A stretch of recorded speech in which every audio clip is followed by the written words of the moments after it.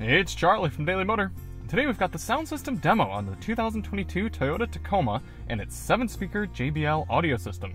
This is going to be an in-depth review. We're going to take a look at how the infotainment system works, take a look at audio puts, inputs, adjustments, controls, speaker locations. Then we're going to go out on the road and listen to these sample tracks while we're rolling, and I'll give you my thoughts at the end. Now, if you don't care about any of that stuff at the beginning, you just want to listen to the music, click ahead in the video. We've got chapters to get you right to the tunes. And we recommend listening with headphones because then you'll hear exactly what I hear coming into my ears. Before we get started, hop out and take a look at it. This is the TRD Pro trim here in electric green.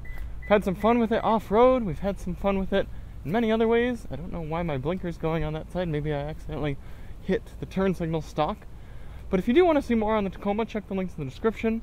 We'll have the videos up there. We also have a little bit of footage from a few years ago on a TRD off-road Tacoma, so a little bit more pedestrian than this. But if you want the ultimate in mid-size truck off-roaders, this is a very good choice.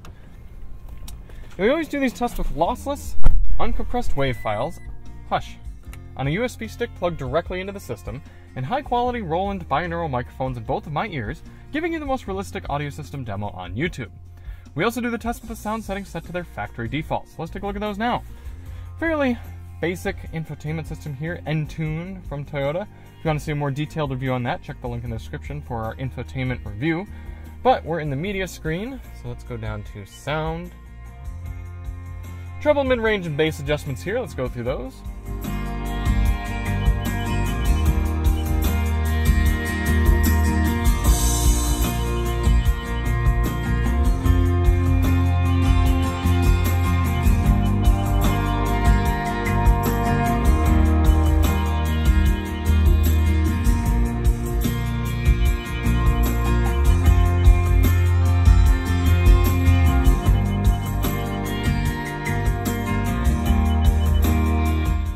Biggest bandwidth of adjustability there, but I do appreciate having treble, mid-range, and bass.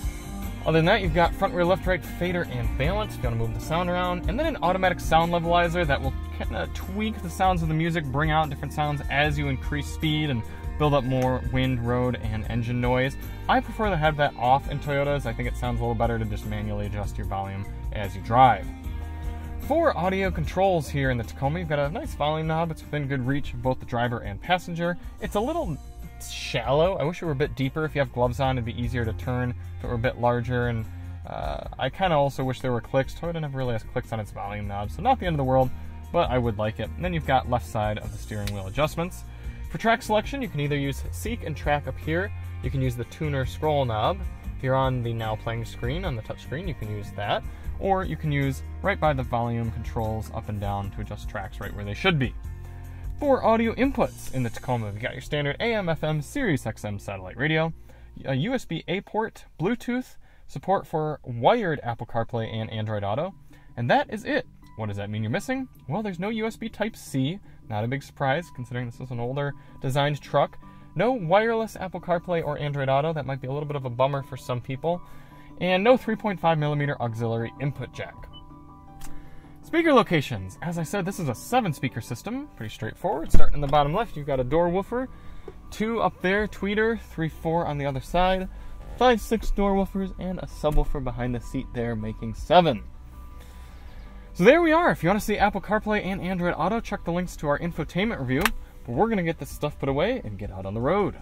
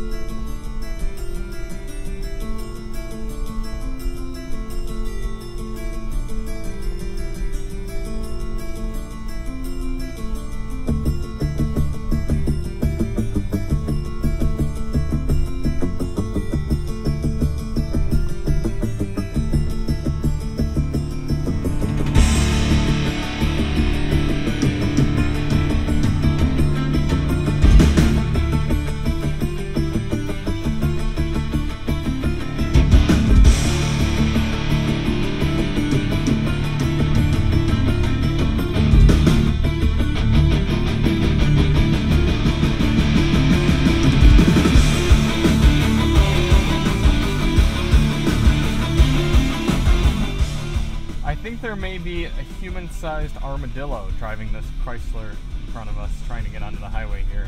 I don't think they've ever piloted a vehicle before in their life. But back to the sound system.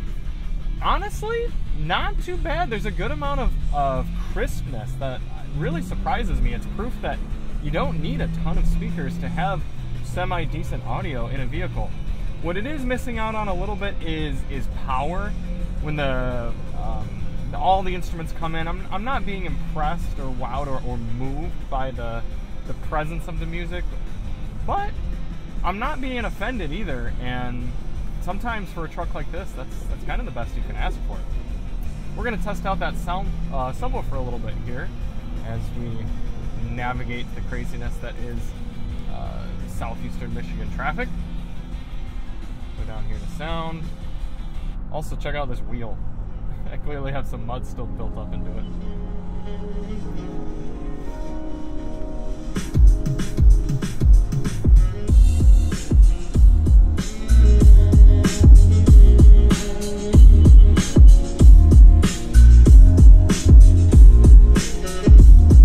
Okay, so I've got some mirror shakeage,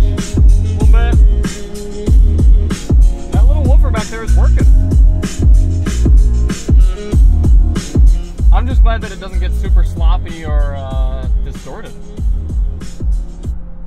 Oh, oh, oh. I need to get away from this person.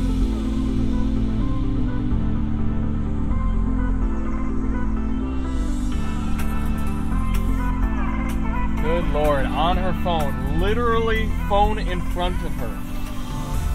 That is awful.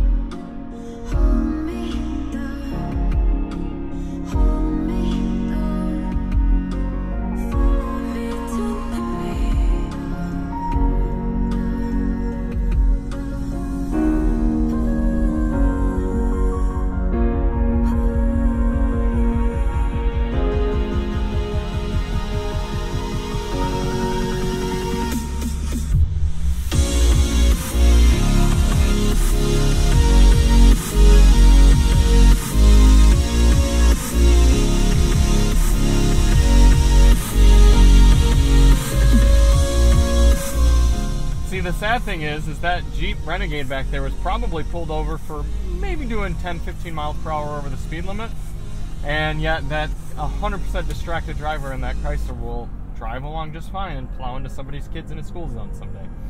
Anyway, wrapping up my final thoughts on the JBL system here in the Taco. Really not too bad. Like I said, for this style vehicle that's clearly designed for utility and for off-roading and for plenty of other purposes, I would forgive a lesser sound system. It's not quite going to earn a B. It's it's a C. It sounds fairly average. When you really crank up some more complex music, you're not getting much out of it. But for most people's casual listening, it's going to be pretty good. Another thing that does let it down a little is the dated infotainment. I don't hate it, it's just not impressive either, and some brands do cheap infotainment better. But all things considered, not that bad of a system. C rating here for the Tacoma. Thank you all so much for watching. If you do want to see more on the Toyota Tacoma, check the links in the description. And we'll see you on the next one. I'm Charlie from Daily Motor, and as always, drive on.